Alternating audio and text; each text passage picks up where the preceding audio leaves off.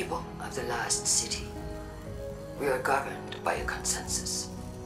A democracy where the people have say over what happens in their city. Or so we thought.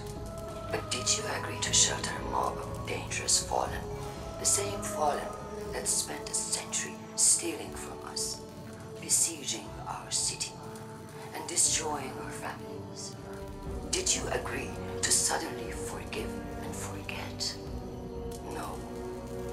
Ikora Rey decided, without the people's consent, to allow House Light inside our walls. These are not the actions of a democratic leader. She claims that this Mithrax can end the Vex curse. Then why has he not done so? Perhaps because he has no such power. Or perhaps because he's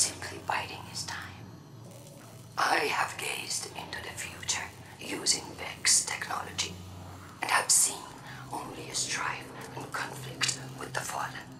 Unless we change course immediately, bloodshed is inevitable.